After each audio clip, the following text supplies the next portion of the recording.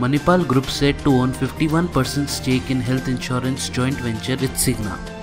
Apple introduces web login, challenges Google Facebook on privacy.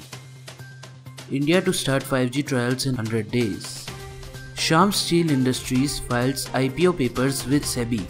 Airtel Africa to raise 750 million via IPO, eyes London listing. BHEL gains 2% on order win from Indian Railways. General Electric Power soars 3% on rupees 738 crore order win. Infosys has begun to review its contracts with Huawei to ensure it is not caught short by the US government clamping down on the technology Chinese giant.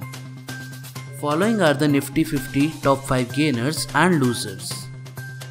Nifty fell to 12,021.65, Bank Nifty fell to 31,589.05, Sensex fell to 40,083.54.